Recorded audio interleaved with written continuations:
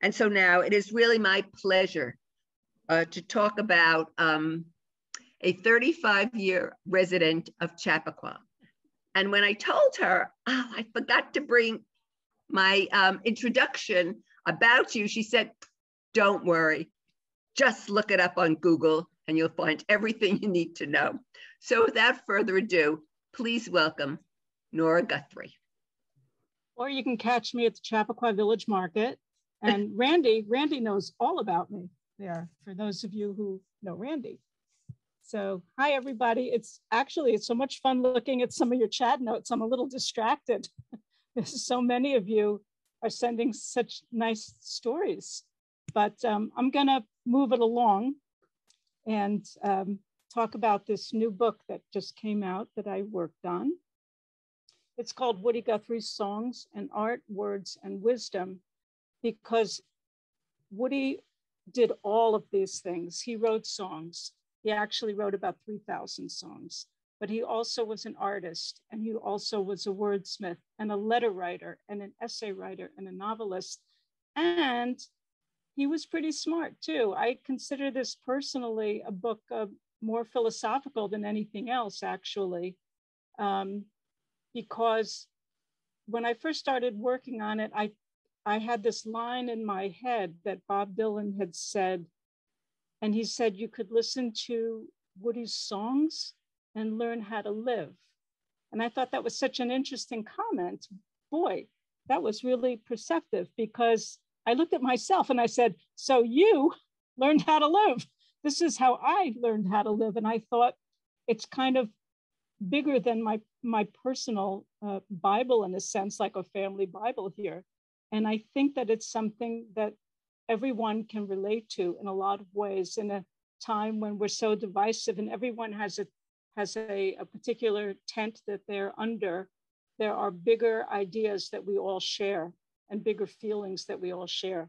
And that's what I really tried to get across in this book. I'm going to just show you the table of contents here, which will give you an idea of what's in the book. The first chapter is a self-portrait. Basically, it's Woody in his own words talking about himself. We've all heard other people talking about Woody and writing about Woody, but we very rarely get to hear his point of view about who he is. So I wanted to share uh, some information about that. The second chapter is about the places I've been. He traveled around the country from California to the New York Island and every state in between. And he wrote some really interesting pieces of work, did some interesting artwork, etc. So we cover some of the geography of the country as well. The third chapter is how to write songs. And I thought it's actually very interesting to see how he writes songs. We'll get to that as part of this uh, program tonight. Chapter four is things that are right and things that are wrong. And that's a direct quote from uh, one of his writings. And I love the fact that it's that simple. There are things that are right and things that are wrong. And sometimes we really complicate things, overthink things, and every child knows things that are right and things that are wrong. So I'm going to be sharing a piece of that with you too. Hello, People is chapter five. Woody loved people. He wrote lots and lots of songs about people. He met a lot of people. He was literally the fly on the wall around the country, watching and listening to what the people said. So we have that information too.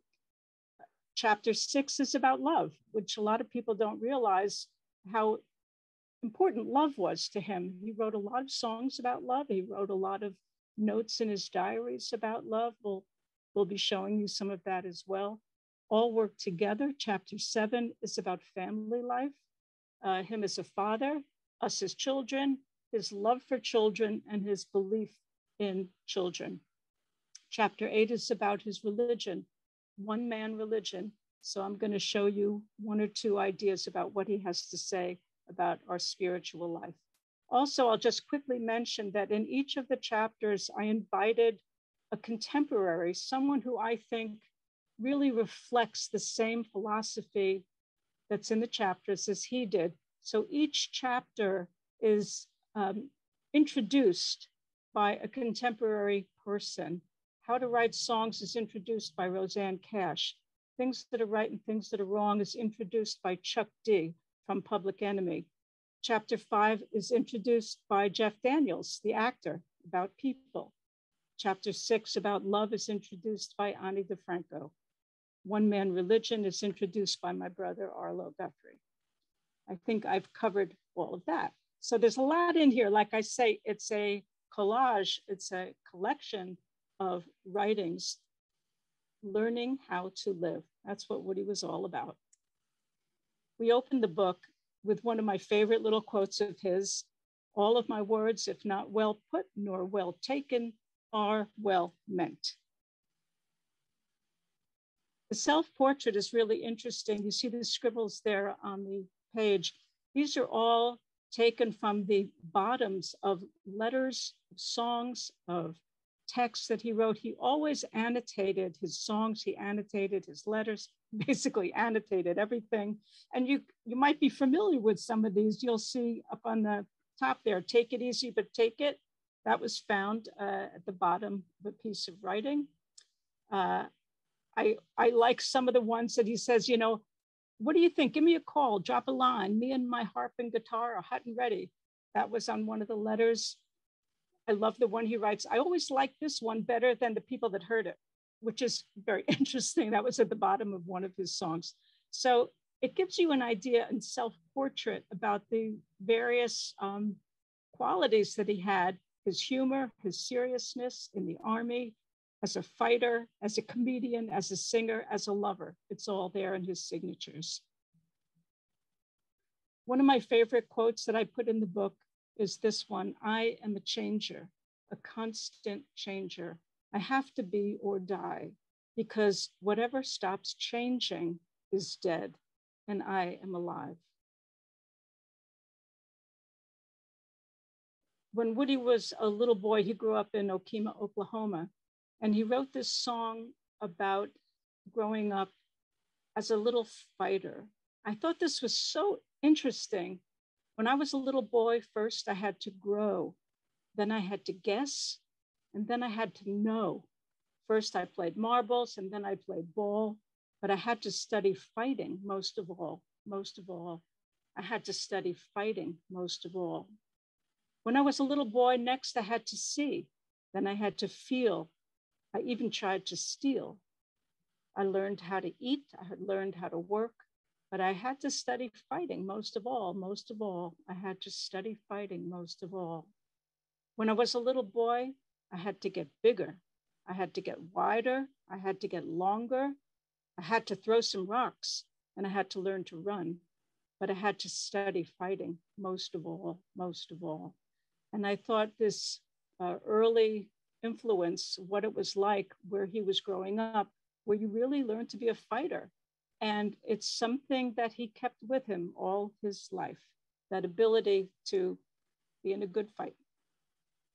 By the way, the artwork that you'll see throughout here is his illustrations and drawings. This particular one is from his autobiography, Bound for Glory.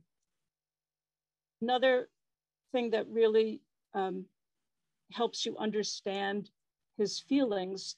This is a portrait of him with his mother. His mother had Huntington's disease, which he eventually inherited.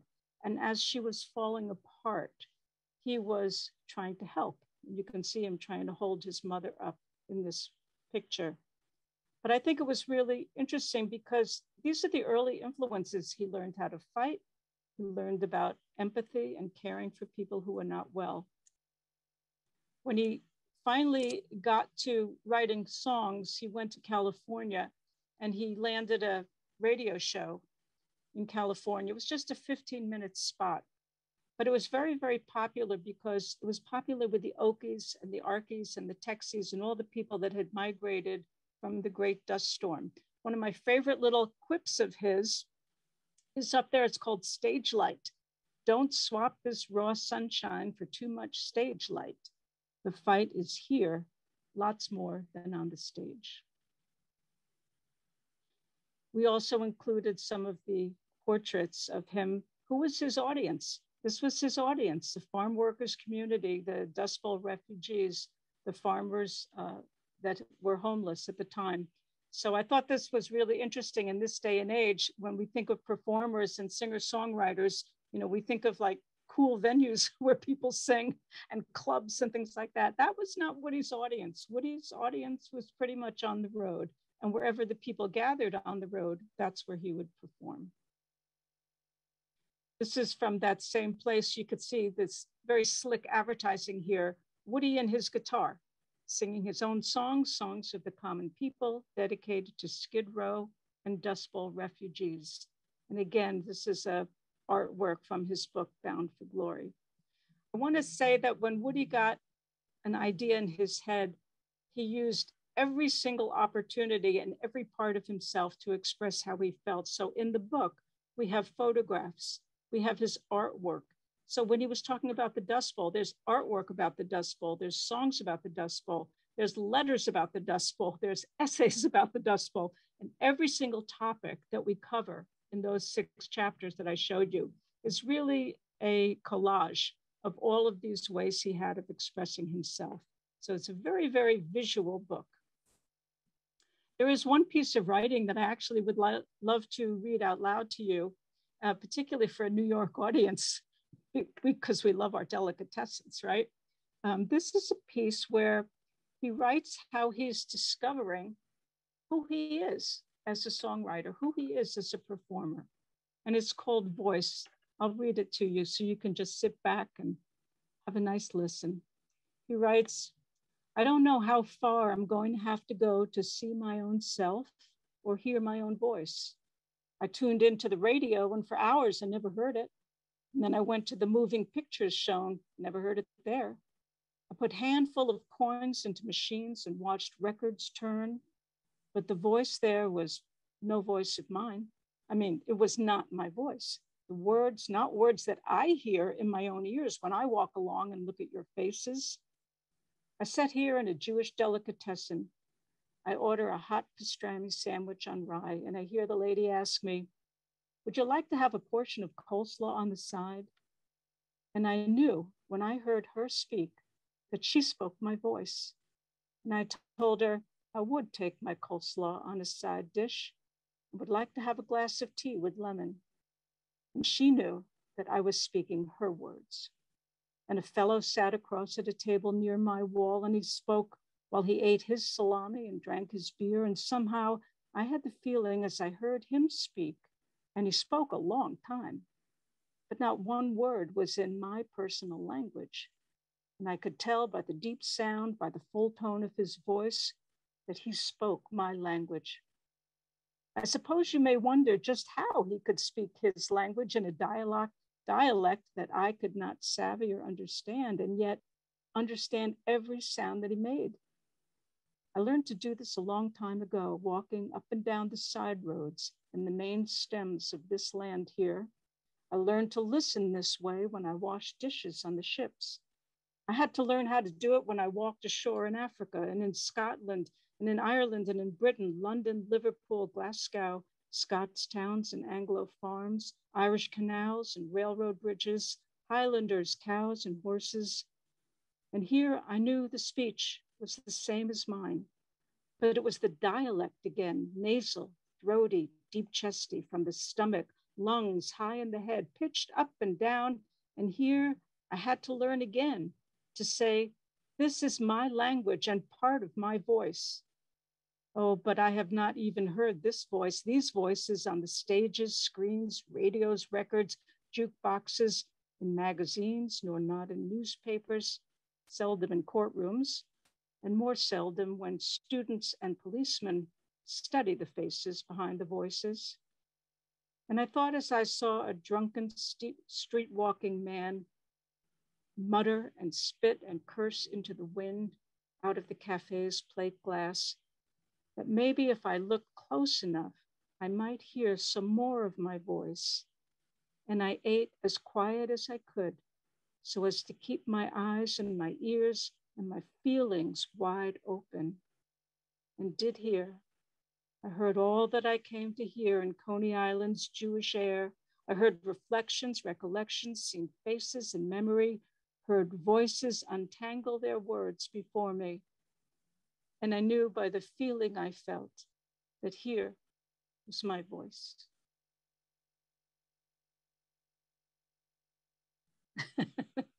she liked that. uh, we're going to go over to chapter two again, just to give you a little idea of his feelings and thoughts about the country. I'm going to just read one or two lines, uh, paragraphs from this little piece. It's called This is Our Country Here. It's written in 1946, you'll see. He writes, This is our country here as far as you can see, no matter which way you walk or no matter what spot of it you stand on. When you've crossed her as many times as I have, you will see as many ugly things about her as pretty things. You will hear whole gangs of travelers and settlers arguing about her, what she is, how she come to be, what you're supposed to do here. And you will hear some argue at you that she's so beautiful, you're supposed to just spend your life feeling of her pretty parts, sucking in her sweetest breezes and tasting her fairest odors, looking at her brightest colored scenes. I would say that gang has the wrong notion. And there are some bunches that tell you she's all ugly and all dirty, and that there's nothing good about her, nothing free, nothing clean, that she is all slums, shacks, rot, filth, stink, and bad odors, loud words of bitter flavors. Well, this herd is big, and I heard them often, and I heard them loud, but I come to think that they too were just as wrong as the first outfit because I seen the pretty and I seen the ugly. And it was because I knew the pretty part that I wanted to change the ugly part. Because I hated the dirty part, but I knew how to feel the love for the cleaner part.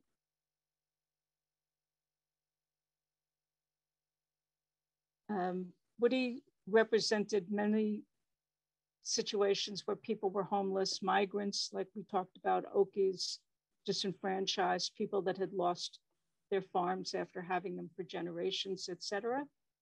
And he wrote a lot of songs, especially in the Dust Bowl um, albums. This one is called I Ain't Got No Home in the World Anymore. And um, the artwork, again, is from Bound for Glory, where he's sleeping on the road, dreaming of people that he knew back home. I included uh, in this presentation tonight, we, course, we have a lot more. The book is like 350 something pages long. We're going to look at 50 of those pages tonight about. Um, one of the places he spent some time was California. Some of you might know the song Do Re Mi that's up on the screen there if you ain't got the Do Re Mi. And he talks about how hard it was for the uh, people migrating to California during the Dust Bowl to cross the California border. You had to prove that you had X amount of money on you so that you weren't considered a vagrant to cross the border. And they had police cars uh, and vigilante groups stopping a lot of these people from getting into California. So that's the song, the original typed Do Re Mi. You can see on the bottom of it, for those of you who are interested, I, we talked about the anecdotes that he wrote on all of his lyrics. So there's a complete explanation. This song was written in 1938, and he'll write at the bottom more information about why he wrote the song and what he saw when he tried to cross the California border. On the other side, we have the lyric California Stars, and I had to include that because the band Wilco uh, recorded that. We did an album called Mermaid Avenue with Billy Bragg and Wilco probably about 20 years ago. Oh my God. I had blonde hair then. Um, no, um, California Stars, that's the original lyric for those of you who enjoy the Mermaid Avenue albums that we did. He also spent a lot of time up in the Pacific Northwest. He did a projects for the Bonneville Dam, a building of the Bonneville Dam. And one of his most beautiful songs is Pastures of Plenty. We included that beautiful lyric in the book with this beautiful photograph of him as well. So that's representing you people up there in the great Pacific Northwest. Woody always said a song should be as long as the story you're trying to tell. He wrote some very long lyrics, There are a few of them in the book. Some of them take up two or three pages. They're that long, like 80 verses. But this is one of the shortest ones he ever wrote, and probably not one of the best ones he ever wrote either. It's called I'm Shipping Up to Boston. But I had to include it because a punk band up in Boston recorded it, Dropkick Murphys. And it was such a great tune that they put to it. Martin Scorsese heard it, loved it, and made it like the theme song of his movie, The Departed. And the same year, for you ba- baseball fans, the uh, Boston Red Sox won the, uh, you know, what do they call it? the World Series. You can see how much I know about baseball. So the Boston Red Sox used this song uh, when they won the, that last uh, game when the pitcher went out and did the jig to I'm shipping up to Boston with Dropkick Murphys playing it. So it just goes to show you, you know, going from a lyric like Pastures of Plenty, which is so moving and, and so uh, profound in a way, to a song like Shipping Up to Boston. You know, he wrote from all kinds of topics, but congratulations to Shipping Up to Boston and Dropkick Murphys. Woody did also come to New York in 1940. I love this photograph of him. This is in Bryant Park, actually. And I love what he wrote in one of his diaries. He wrote, There is one and only one New York. And if you don't see it, you're doing yourself and your country an injustice. It's got the best of the least for the most and the most of the best for the least. 1947. That CINYC stands for Coney Island, New York City, which is where we're, we landed as a family. I love the fact that he traveled the subways. He wrote Talking Subway Blues in New York City, which is very, very funny. This Okie, basically hillbilly kind of guy coming to New York for the first time and expressing uh, lots of things about how he felt about subways and crowds and high fashion and things like that. We've included a lot of those impressions in the book. And you can see here um, on the side, the big portrait of his face was taken from one of those 25 cent, you know, you get four, four portraits for 25 cents down in the subways. I loved it. I thought it was one of the best pictures I ever saw of him. And the rest is uh, him busking in the subway. And he's on the Chambers Street IRT there, going out to Coney Island, I guess correct me if I'm wrong. I know someone's going to correct me and say IRT didn't go to Coney Island. I forget what it was. It was Chambers Street. It went the A train. It was the A train. Thank you. So Woody, uh, some of you might know that Dylan also did a talking subway kind of talking New York blues, very much based on this. He used this talking subway blues as a template for a number of his songs as well. When he came to New York, he actually wrote, This land is your land on 43rd Street and 6th Avenue. I grew up thinking he must have written it in Oklahoma, Texas, California, someplace like that. But hey, guys, it was written in a flop house on 43rd Street and 6th Avenue, an old uh, flop house called Hanover House, where he stayed for a couple of weeks when he first arrived in New York. That made me realize that this song is much more interesting, actually, than just the school version that we that we learn because it's basically a journal of his travels across the country. So when he writes, as I went walking that ribbon of highway, he did walk that ribbon of highway and he saw above him endless skyways and he saw below himself golden valleys. And then he said, This land was made for you and me. He also saw big high walls there that tried to stop me. A sign was painted, it said private property. But on the back side, it didn't say nothing. That side was made for you and me. When the sun comes shining and I was strolling, the wheat fields were waving, dust clouds rolling. The voice was chanting as the fog was lifting. This land was made for you and me.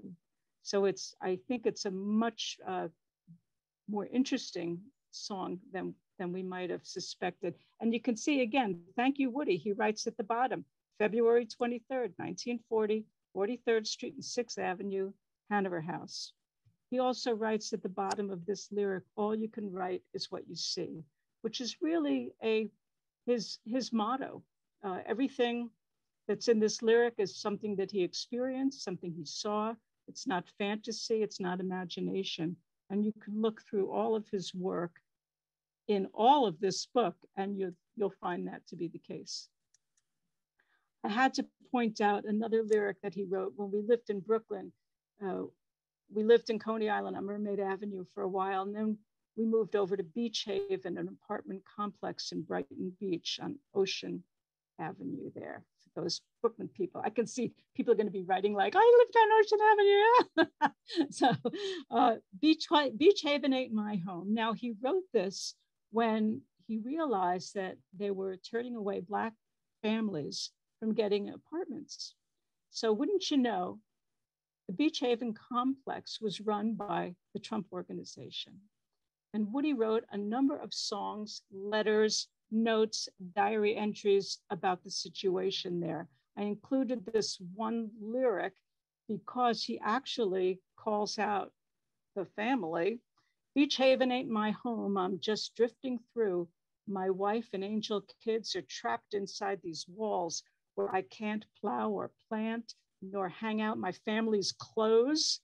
Old man Trump, old Beach Haven ain't my home.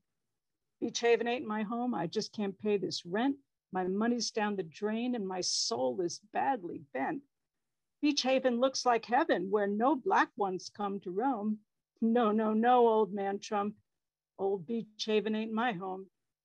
Across Beach Haven's grass, I see my brethren's pass. They try to hide their misery behind the window glass. We all are crazy fools as long as race hate rules. No, no, no, old man Trump. Beach Haven ain't my home. 1952. We go to chapter three. I'll just give you one or two ideas of what's in this one. He writes his thoughts about folk music. I found this in a little little diary entry a folk song is what's wrong and how to fix it. Or it could be who's hungry, where their mouth is. Or it's who's out of work and where the job is. Or who's broken where the money is. Or who's carrying a gun and where the peace is. The notebook says you can see at the top how to write songs. And on the other side, you'll see all the little notes, musical notes, getting all together on the side of the page he says, we've got to get organized. Um, one of the techniques that he used for songwriting, which might be valuable to anyone who writes anything actually, is this idea of putting down titles. Would he put song titles, lists of song titles in books? And then he would go back, could be six months later or a year or something, go back and suddenly the lyric uh, would come to him the title would inspire a song. So he writes just the idea of the title for your song is more than half of the battle to catch your ballad. I've got thousands of titles laid away like postal savings bonds. I spend hours and hours just writing down my ideas for titles to my songs. And some of the titles are very, very funny. He kind of goes on a, a trip, you know, mental trip single girl blues, two hungry babies, starving, starving family blues, leaky root blues, no money blues, the drunken father, the frozen orphan, the drunken mother, which I was single again, holey stocking blues, no rent blues, no job blues, parents lament, crowded room blues, GI loan blues, hawk shop rag, pawn shop poker. this cracked me up. Bucket shop waltz, trifling husband, trifling wife trifling sweetie, jealous father, jealous mother, daggery knife, oily gun rag, etc., etc. I insisted on putting three pages in the book of all of these titles, which are just great to read. Some of the songs that he wrote were based on newspaper uh, events or newspaper articles and important historic events. This one was written about 1913 massacre, which was the copper miners' strike and uh, you can see from the newspaper article, the party that the miners were having for Christmas was uh, uh, stopped by some, some of the uh, copper miner owners' uh, scabs, and uh, 74 children died in that, in su getting suffocated.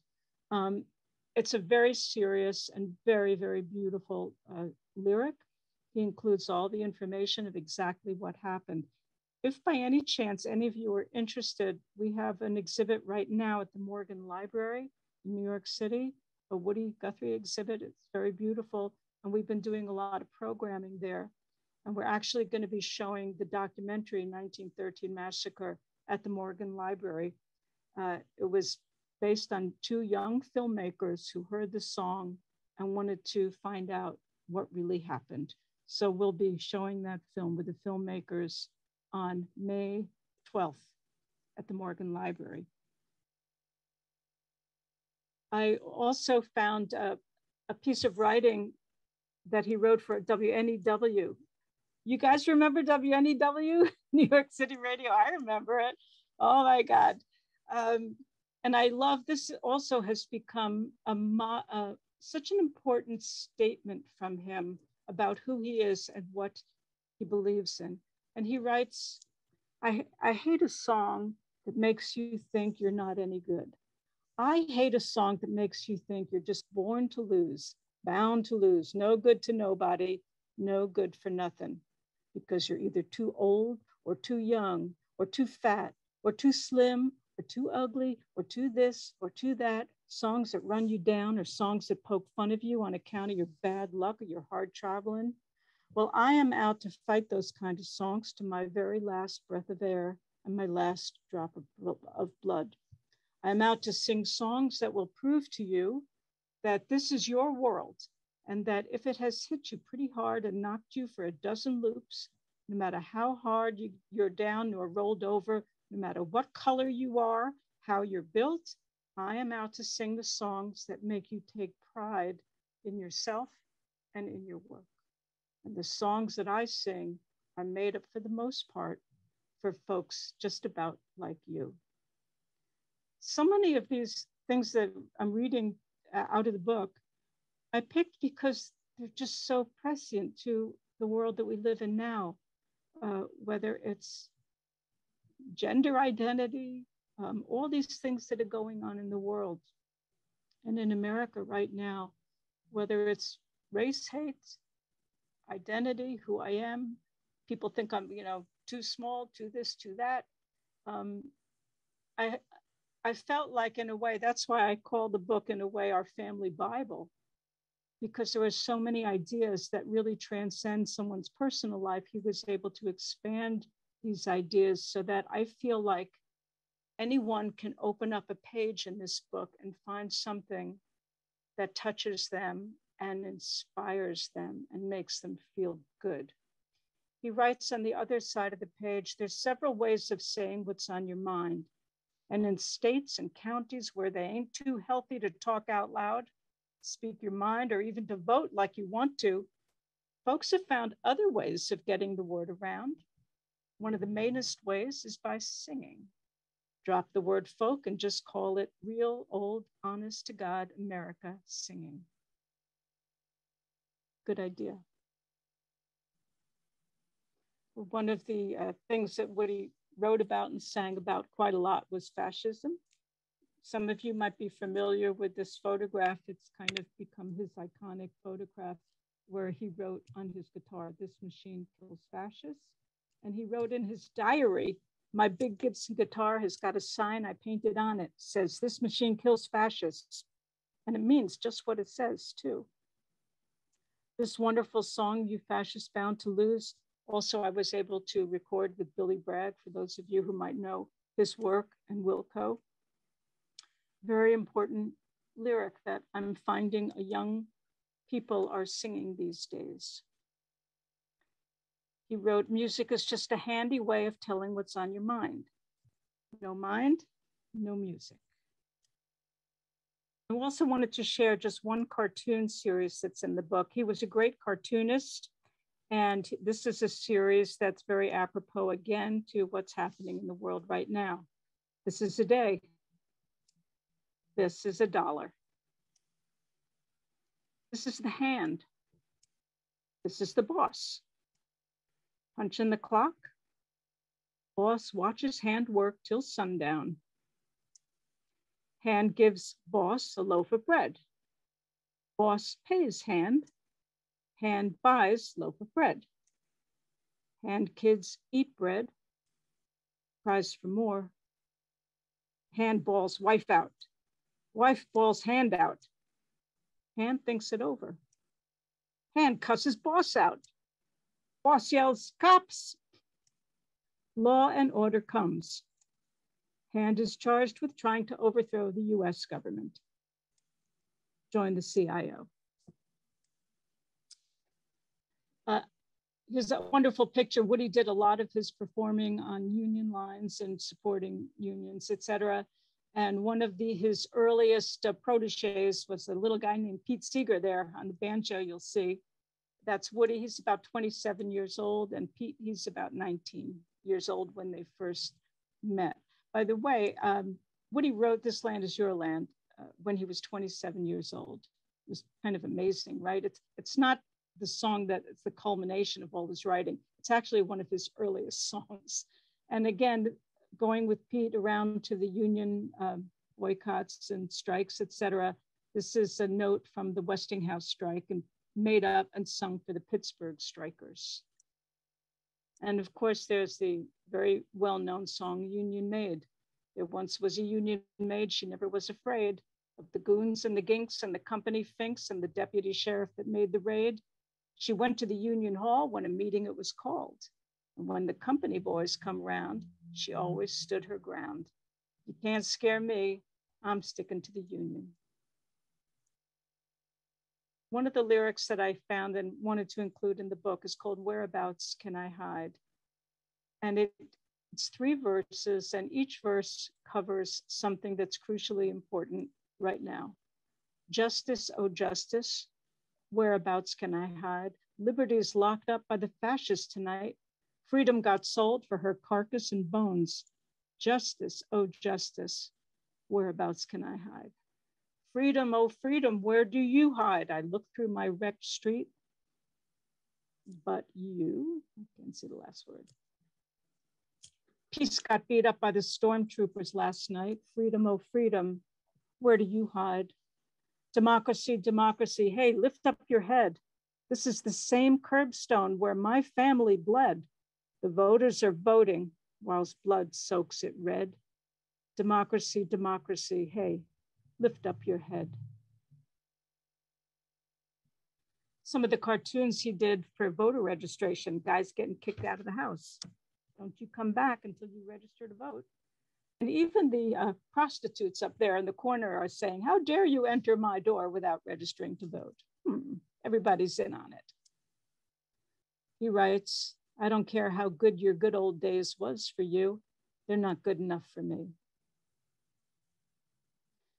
Uh, in the people section, I'm just going to show you a few of the lyrics that he wrote. I mentioned before how long some of the ballads can be. Of course, the one on one side is Harriet Tubman, the ballad of Harriet Tubman, who had such a long, interesting life that he put it all down there, Harriet Tubman. And the other one is Isaac Woodard, um, another long song, a very important uh, ballad that he wrote. And on the lighter side, he also wrote about Joe DiMaggio, baseball guy, right? Joe DiMaggio done it again. And he wrote about Ingrid Bergman. He says, Ingrid Bergman, let's us go make a picture on the island of Stromboli. He had a little bit of a crush on her. He also wrote about FDR, Dear Mrs. Roosevelt. This song was actually recorded by Dylan with the band in 1968 at a concert that we did at Carnegie Hall. Uh, Bob had just come out of recuperating from his motorcycle accident and uh, did this song, beautiful version of it, of uh, with the band. Before it was the band, it was just the band, Bob and the band, and then it became the band. And one of the other songs that he wrote was Ilse Koch, which was the story of a Nazi woman who worked, uh, who uh, was, in Buchenwald. And he, this is his cutout of the article. I talked a little bit about where he got some of his ideas, and a lot of this is history talking.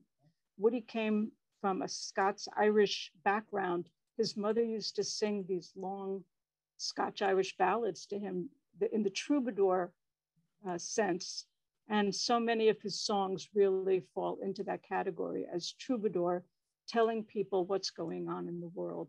And this particular song was about a Nazi in Buchenwald. And he talks about it in the first person. He writes, I'm here in Buchenwald, my numbers on my skin. Old Ilse Koch is here. The prisoners walk the grounds. The hounds have killed a girl. The guards have shot a man. Some more have starved to death. Here comes the prisoner's car. They dump them in the pen, etc. Um, I did record this one with the Klezmatics a number of years ago. Uh, you can find it on their album. I thought it was one of the first songs I've done a little bit of research on that was ever written about a concentration camp. It was written in 1948. So it's kind of interesting history there too. He also wrote about people that had no names. One of his most popular songs was Deportee, otherwise it was called the Los Gatos plane wreck. And this was also from a newspaper article where there was a plane wreck and the people's names of the pilot and the stewardess uh, were named in the article, but not the deportees who were being, were migrant workers that were being sent back to Mexico. And one of the things that we found has happened a lot with Woody's material is that he leaves some stories untold with just a hint of what's happening. A few years ago, a young scholar got really interested in this story that he heard through this song. And he researched what really happened. And lo and behold, he found the names of every single person, the Mexicans that were being deported, contacted their families and got them together and did a mass um, a mass memorial service. This would happened in California, and put all of their names now that we know them on the uh, memorial plaque there in California. Brought all of the families there, and I love the fact that Woody has inspired young people to continue telling the stories, to continue finding out what happened, what's happening in the world. Uh, just to give you an idea, uh, you'll see on one side of the page, this is a partial list of some of the people Woody wrote about in his songs and his stories. And on the other side, you'll see is a portrait of Lincoln. Woody started out actually as a visual artist, did a lot of oil paintings in his early life this is from 1937. But he found that songwriting was also a way of painting portraits of people and telling stories. And that's the route he decided to take. One other thing that took place in New York was he met my mom. I have to say that, right? So he's like, My New York City is the place where I met you. And that's a picture of my mom, Marjorie. And she was a dancer with the Martha Graham Company, actually, at the time. That's her, 1940. And again, here's Woody's interpretation, an artist, of the Graham technique, actually. So in our house was not just musicians. You, you might think of that would be just, uh, it was Sonny Terry, Brownie McGhee, Leadbelly, people like that in the folk scene. But there was also Martha Graham and Erick Hawkins and uh, Merce Cunningham. My mother was Merce's teacher, actually and Erick's teacher as well. So it was a really interesting uh, party at my house. modern dance, Woody and modern dance. So I just wanted to read this one last thing that I'll read to you. Speaking of dance, uh, he became very interested in dance and he wrote this beautiful piece that I think is kind of an ode to all women, which is again very appropriate today. I say to you, woman and man, I'll say to you, woman, come out from your home and be the wild dancer of my breed. I'll say to my man, come out from your walls and move in your space as free and as wild as my woman. I'm married and wed to a dancer in my front line. And the way she moves and beats my, and while I beat my skin drum, would knock your soul and your lights out. I beat my old drum skin and sing to my big family. You, Arlo, you, Stacky, you, Teeny, you, Stewball, you, Bill, you, Marjorie. Those are the names of the kids. Come out from your made walls and out from your sins and out from your sick spell and dance to high glory. you poor sickhead poet that sung to my woman to stay here in these sod walls and laze around sleepy and doze around sheepy while your man is the one to go out and see the action. You jail home poets are dead in my dust. I sing your song, but I sing it just backwards. I say to my woman, dance out of your home, dance out and see fighting, dance out and see people, dance out to run factories, dance out to see street meets, dance out in the deep stream, dance out to your vote box, dance down to your office, dance over to your counter, dance up your big stairs. And if your husband gets jealous, dance out to new lovers. If your man keeps your heart tied, dance out and untie it. Dance out to sing equal, dance out and be pretty, dance around and be free. And if I just had this one thing to say to a husband, it would be these words go dance. That's all. Just jump up and let go and dance. Dance in your own way, sing your own song, whoop in your own kind of a yell in the start and in the finish of your dance. Mammy of nature gave birth to you in her body and hills. You give birth now to old female mommy nature in the male feelings and rivers. Go dance, both of you. Go dance. Family chapter. He wrote down everything that we said and he turned it into a song. For those of you who have kids that can't stop asking why, he wrote why oh why oh why oh, and he covers all the bases. Why can't a bird eat an elephant? Why can't a dish break a hammer? Why can't a mouse eat a streetcar, et cetera, et cetera. So his love of children is really evident in so many of the songs he sings. And this is an example of the child, my sister Kathy, her own words for it, where he got all of his inspiration to write children's songs. Here's just a couple of nice photos that we have of him on the beach. This is in Coney Island, Beach 36th Street, if you know your Coney Island. Uh, he was the master of sandcastle building in our neighborhood and taught us all to build sandcastles. He wrote so many wonderful children's songs. This is a manuscript that we found that each page of each of these songs is illustrated and painted by him. And what he did was he would write from the morning, wake up songs till the very end of the day, sleep eye songs. It was a wonderful way of manipulating your children. I highly recommend it. Don't tell your children what to do. Write a song about what you want them to do and have them act it out. He believed in children, new multitudes. Give me new multitudes to lose this generation, got to have new multitudes, got to win my battle for peace with new multitudes, going to build up my old world over. You got to have new multitudes.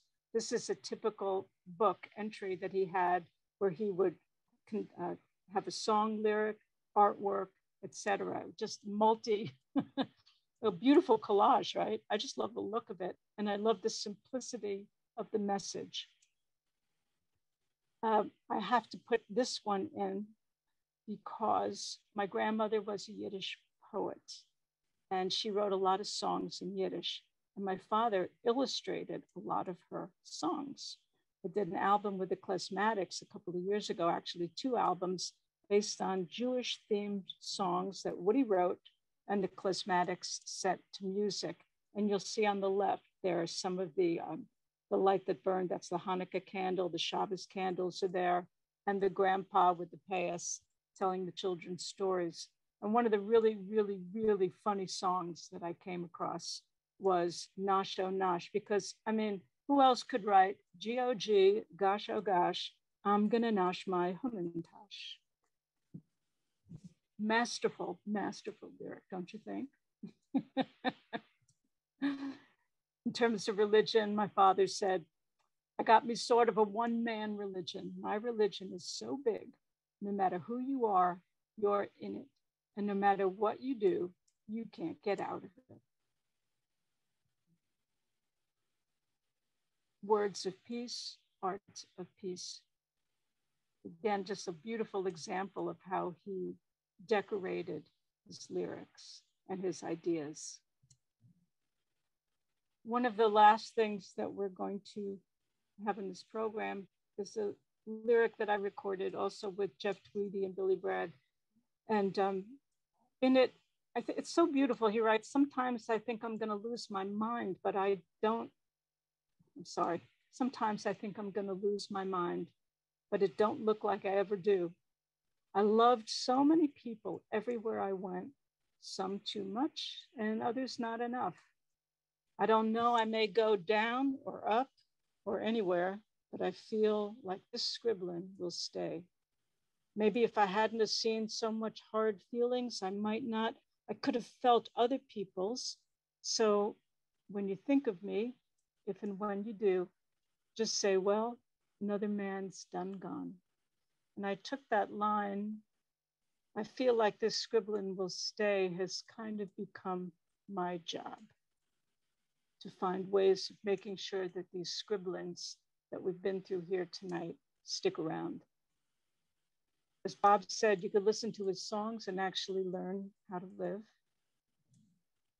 And he even wrote a list of how to live just in case you need particular directions. One, work more and better. Two, work by a schedule. Three, wash teeth if any. Four, shave. Five, take a bath. Six, eat good fruit, vegetables, milk. Seven, drink very scant, if any. Eight, write a song a day. Nine, wear clean clothes, look good. 10, shine your shoes. 11, change socks. 12, change bedclothes often. 13, read lots of good books. 14, listen to the radio a lot. 15, learn people better. 16, keep Rancho clean. 17, don't get lonesome. 18, stay glad. 19, keep hoping machine running. 20, dream good. 21, bank all extra money. 22, save dough. 23, have company but don't waste time. 24, send Mary and the kids money. 25, play and sing good. 26, dance better. 27, help win war, beat fascism. 28, love mama. 29, love Papa. 30, love Pete. 31, love everyone. 32, make up your mind. 33, wake up and fight.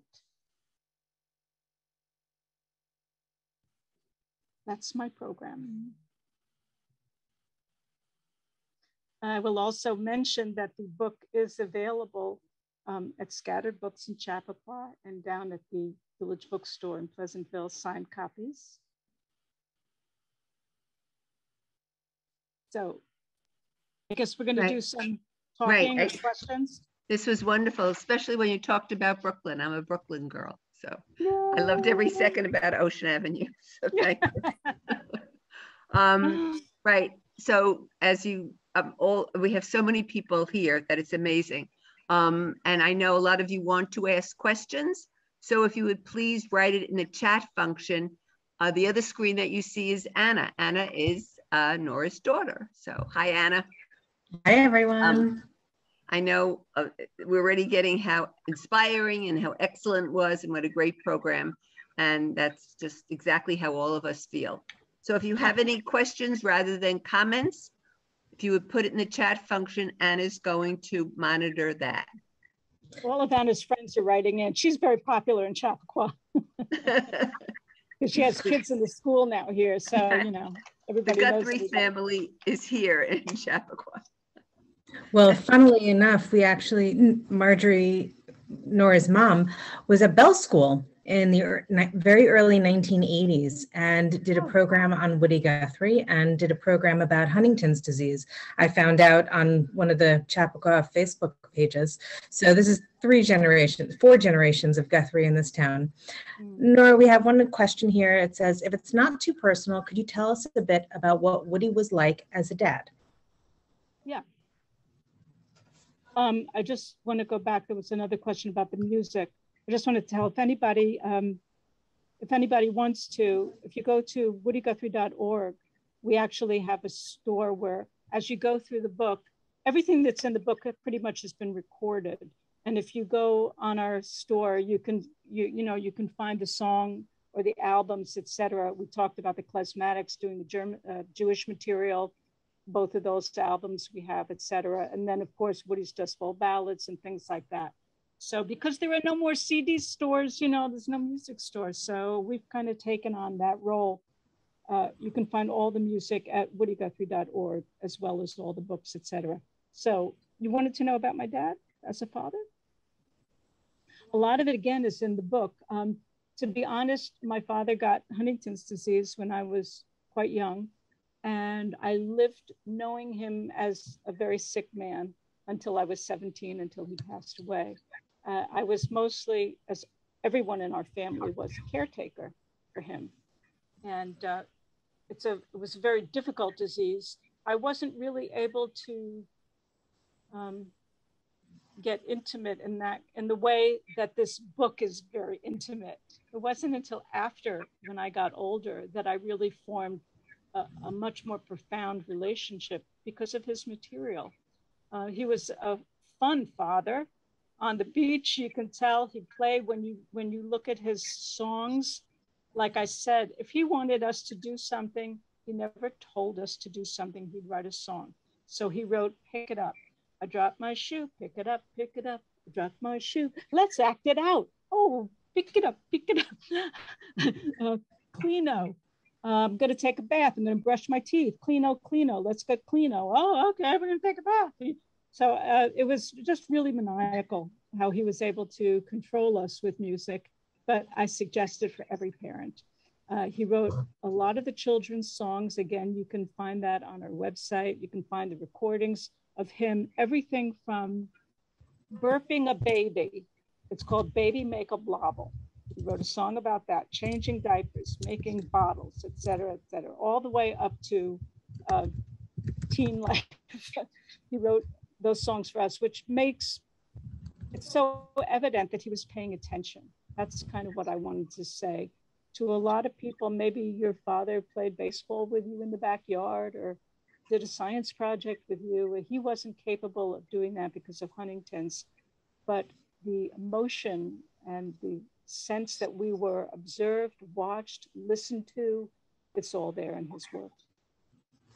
We have another question about the book. Um, someone says, Thank you. How did you construct the book? So much material. Where did you start? Did you have a publisher at the beginning? Can you talk about the process a bit?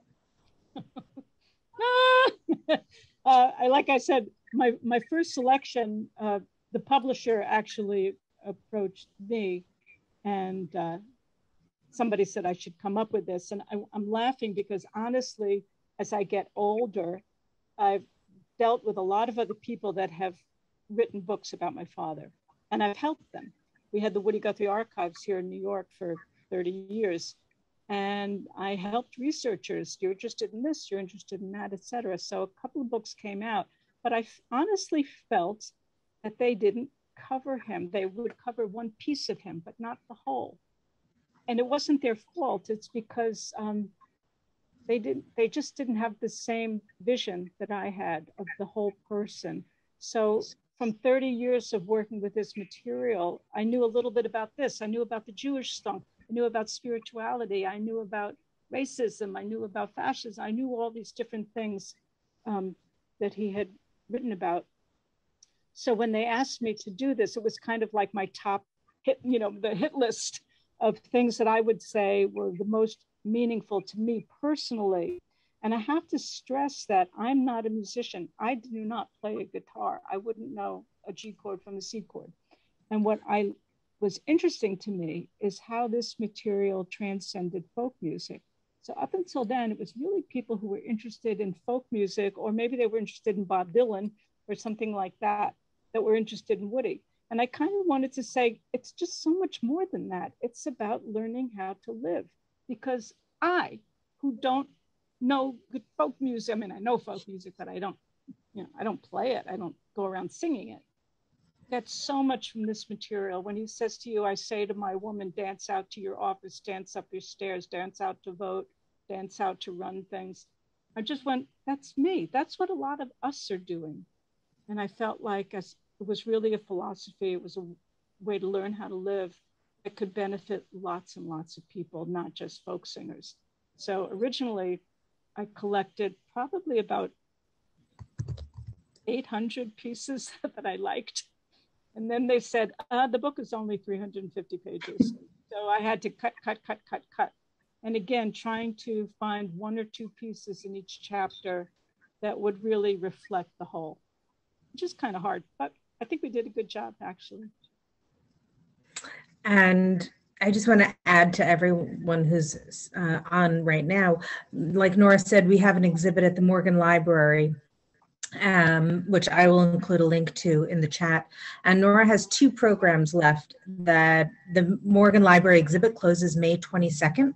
And on May 12th, Nora will be screening the film 1913 Massacre, like she mentioned, with the documentary filmmakers and having a discussion following.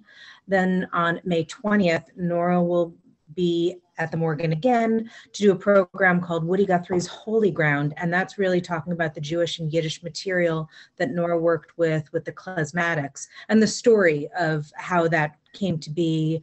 Uh, we will have special guest Lorin Sklamberg of the Klezmatics, who will be playing live music as Nora talks and shares these stories. So there's two more events in person. If you want to attend, I will include a link. Nora, we have just a couple of quick comments um, about you know where to get the book. Uh, just everyone again, you can get it at Scattered Books in Chappaqua. You can get it at the Village Bookstore in Pleasantville. You can get it at woodyguthrie.org. You can pretty much find it anywhere. So, if there are any other questions, you also said as for Scattered Books and stuff, if anyone wants like a particular uh, you know inscription or something like that, I'm around. I'm in town. So Scattered right. Books can take orders uh, if they don't have any enough in stock right now, and they can take orders, and I can, you know, leave a note and say to my favorite husband, love, whatever. So. Right. Yeah, we were trying to do the event in person, obviously, but unable to do it at this time. Normally, we would have, you know, a post-event uh, signing. So yeah, just let Scattered Books know, and Nora's happy to do that as well. Okay. Right. Any other questions? Yeah. Uh, well, I see a lot of nice comments. Thank you so much. What a great program. Excellent talk. Um, this was so inspiring. Thank you so much for sharing. I have to leave, but thank you. Someone said, a match made in heaven, Pete and Woody. Weren't we lucky to have them both? Um, Ronnie said, I remember WNEW. We had some really nice comments up in the front from uh, Walter, who said, I printed Woody's California to the New York Island, I believe for Irwin Silber uh, back in New York City. Yeah. So just a lot of really nice comments that I have here. Well, there's one that really interests me.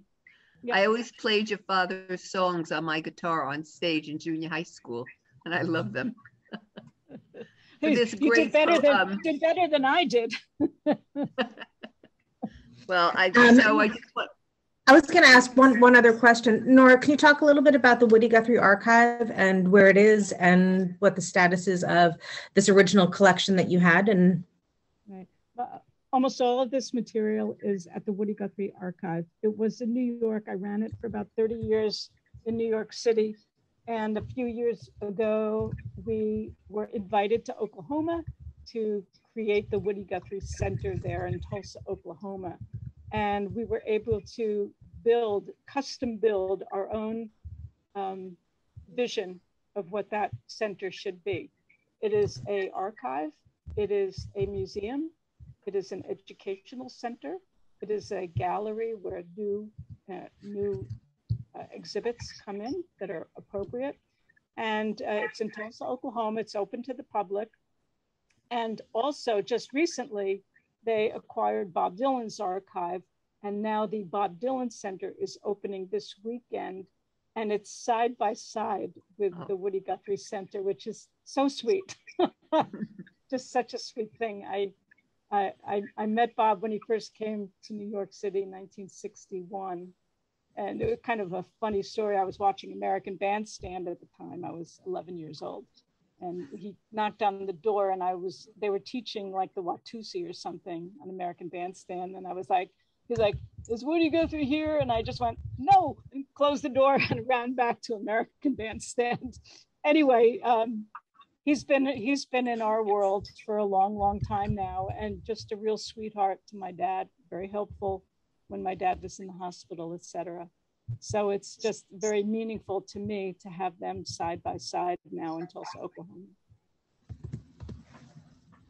Uh, someone said that they just visited the Morgan Library exhibit and loved it. It was truly fascinating. Will you talk a little bit about putting the Morgan Library exhibit together and how it works with the book? The Morgan Library, the book is actually um, an extension of everything that's in the in the Morgan Library exhibit. And again, we had limited space at the Morgan, and you have to be very careful if you have one space for one important thing. What are you going to say? So it was really, I had already done a lot of the work on the book actually.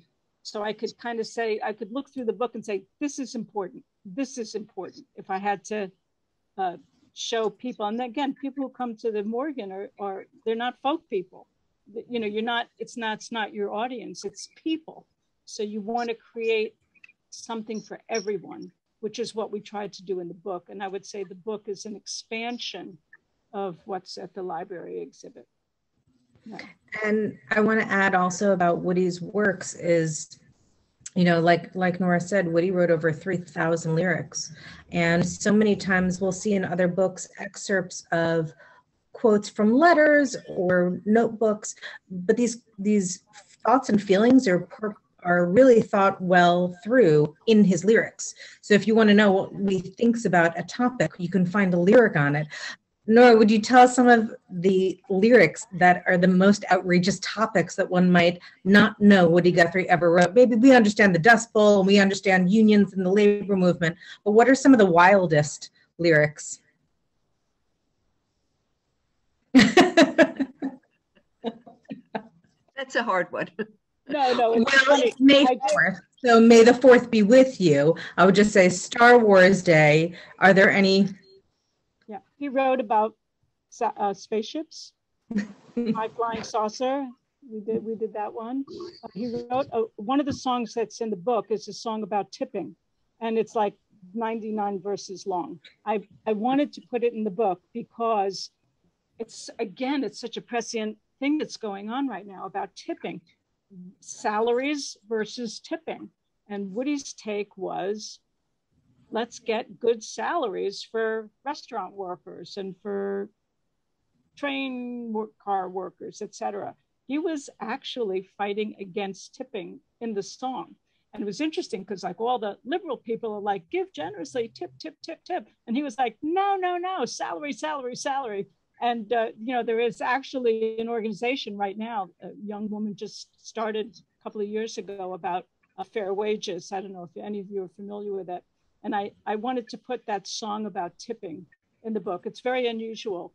Uh, he wrote about flying saucers. He wrote about baseball. You saw the Joe DiMaggio uh, lyric that's in there. And then he wrote some pretty sexy lyrics that uh, the publisher said, don't put that in the book. Um, so we'll have to do the, you know, the Woody sex book at some point. I don't know but um, not by me. no, I was going to say uh, uh, years ago, when he was in, a couple of years ago, he was inducted into the Songwriters Hall of Fame. And what I did when I accepted the award is I read lyrics from A to Z. You like A songs, Another Man's Done Gone, B, you know, Beach Haven Ain't My Home, California Stars. And I just went through A, B, C, D, E, F, G and the last song was the zoo story. So um, there's, it was fun. I kind of didn't know. I, I said to the songwriters who were there, like, did all you guys write songs from A to Z? Woody did. of course, they're not all published uh, and they're not all good either. You know, that's the other thing. So uh, Nora, we had a question. Can you talk a little bit about what the music was like in your home? Who uh, besides Woody did you listen to? What kind of music did you listen to and what did Woody play in the house?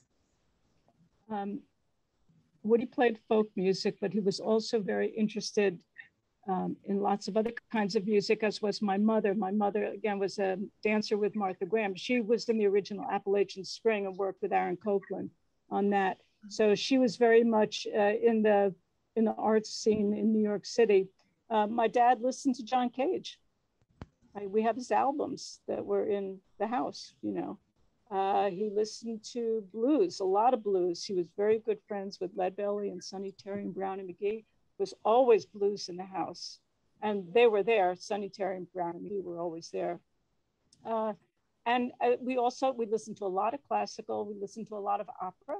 We listened to a lot of Broadway. Uh, my dad actually knew and worked with Harold Arlen. And if you've ever seen, um, uh, what's it? Finian's Rainbow. Finian's Rainbow. Uh, he wrote that part with Woody, the guitar playing guy. That is kind of Woody. It's, it's, his name is Woody in the show. And my dad worked with uh, Broadway writers, etc. Um, really, just every kind. Jazz was always in the house, etc. And we went from you know Bach in the morning to you know, opera at night, actually. I remember falling asleep. They played the songs of the Auvergne, was the songs that you put your kids to sleep with. So I was very, very eclectic. And of course, there was rock and roll because when all the folk singers would come, they would come on Sundays. We would have hootenannies in the house, and everybody would sit around tuning guitars, which is torturous to hear folk singers tune guitars. Um, so we would all run upstairs and we would be playing the Everly Brothers and learning all the Everly Brothers songs and harmonies and things like that. Um, my parents were okay with that too. Mm-hmm. Another question: Are you, were you, or me, uh, ever dancers? the lineage of dance in the family. Would you talk about that a little bit? Yeah, yeah, yeah. You know, most of you know my brother veered towards the folk music side and I veered toward the dance side. And my mother had a dancing school for Brooklyn. Brooklyn people, you might know, my mom had a dancing school on Sheepshead Bay Road in Sheepshead Bay for 35 years. She was the only modern dance teacher in the borough of Brooklyn. And she was the only teacher that was given the right to teach the Graham technique outside of the Graham school itself. And so she had a wonderful dancing school there. It was maybe there's someone out there that went there. Um, so I kind of grew up in the dance world. I did become a dancer. I was at the NYU School of the Arts when they first opened, and I was in the first graduating class from the School of the Arts. Now it's Tisch School of the Arts, but when I went there, it was right above Ratner's on Second Avenue, St. Mark's Place, and uh, that was our turf then. It was a great school, and then I did have a dance company for a number of years after that. Yeah, and I taught in Scarsdale and did a lot of dance stuff. You know, you kind of retire at 30. At a certain point in dance, like you either quit while you're ahead or you become a dance teacher for life. And I didn't want to become a dance teacher for life. So I left. I did the Greta Garbo, leave while you're looking good. I will add though that you did choreograph a piece on the Steffi Nossen Dance School, which is located here in Westchester. And we have um, Steffi actually teaches classes in Chappaqua we have elementary school programs in Chappaqua right next to Bell School at the church. I was a dancer and my kids also dance. So four generations of dancers. Nora, a question about family. How many children did Woody have? Would you talk a little bit about that? Yeah, he was married first in Pampa, Texas. Uh, he married very young, he married a teenage sweetheart, and they actually had three children together uh, when he came to New York, he met my mom and they fell in love. And so he got a divorce from his first wife. But we did, I, I wrote an article, um, I actually wrote an essay in the book when it comes to family. I introduced the idea of family and how we lived. I knew his first wife and children very well. They stayed with us uh, in our family for many, many years. And then when my father got Huntington's, there was a lot of trouble. Um, he was very, very ill and left the house and remarried another woman. It lasted a year. They had a child together. The first three children passed away, two of them from Huntington's disease, and the third one in a car accident. And then the youngest one also passed away in an accident. So it's really just me and Arlo and our other brother Jody that are still here. Well, the essay that you write about all work together as the family motto, will you talk a little bit about more of a, not specifically your family, but that motto of how to raise children uh, in more of a philosophy? I, I included a lyric, and I want to say that I don't include lyrics because I want you all to be singing these songs. I include lyrics because you can read them like poetry, you can read them like prose, you can read them as ideas. So he wrote a song called All Work Together. We all work together with a wiggle and a giggle. We all work together with a giggle and a grin. And he says, My mama tells me something. My teacher tells me something. My daddy tells me something. Grandma tells me something. He goes through the whole family and all the people in the community that he's talking to. They all have something to teach. We all work together. So it starts out with just mommy, daddy, grandparents, uncle, aunts, community, etc. It grows and grows and grows. And that's the, the vision that he puts out in this very simple children's song. Uh, I want to say that when you're raised with these words in your head, it's so great. It's just so great. You don't have all these conflicts when you grow up about, you know, black and white, this and that. And oh my God, start parents out there, start young. Teach them all this stuff when they're young, one, two, three years old. Start singing these songs. They understand it at that age better than adults do sometimes. And I feel so lucky that all these ideas now we've as we go through the program tonight, we've heard a sophisticated version of all work together in This Is Our Country Here. But then we heard the same thing in a children's song, All Work Together, in a language that children understand. So he writes at every level for every person, I think. And how incredible it was. I didn't know it until I was older, how incredible it was to learn these ideas early on so that you're not shocked by women's rights. You're not shocked by justice for all. You're not shocked by voters registration. You know what I'm saying? All this is embedded into who into our souls as children. And uh, I do feel lucky that I had that exposure and those words and ideas in children's words and then in young adult words and now even in old old age words. Same ideas, you take them through your life. And that's what Dylan said, you're learning how to live. And that's what Woody was all about from infancy till death. Should well, I end on that note? I think that's a wonderful note to end on, Nora. Thank you. I'm going to pass it back to Joan, but thank you so much. Well, I, it, I'm sort of speechless. I don't know what else to say, but uh, I do want to thank um, both um, Anna and, of course, her mother, Nora, for such a fabulous program. The comments just keep pouring in. Everybody is just thrilled with this program. Don't forget, we've recorded this program. So if you have any friends that couldn't make it, just go to our website, which is chappaqua.library.org, and look for it on our uh, and look for it. Just scroll down, you'll see a screen, and it'll most likely be right up. It'll take a few days to get up there, but please tell everyone about it. And don't forget, if you're interested in purchasing a book, go to woodyguthrie.org and they'll have all the information, or go to your local bookstore, especially Scattered Books, which is the Chappaqua bookstore. She will be able to get it personalized if you're interested. So again, it's just the compliments keep pouring in. I wish I could keep it for you so you could all see it. So thank you all for see for coming, and um, I'll see Thanks you around.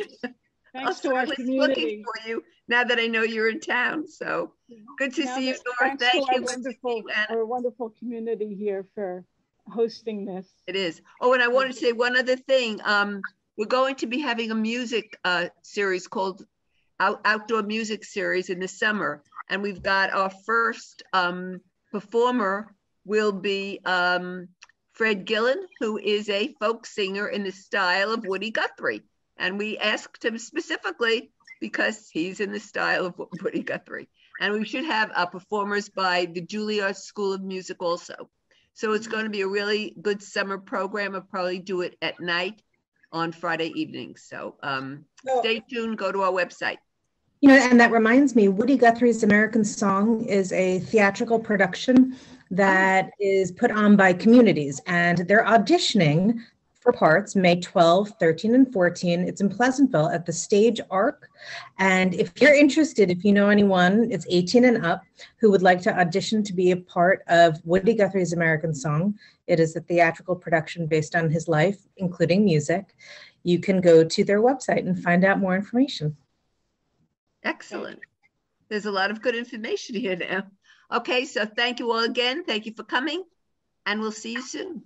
Bye. Bye bye.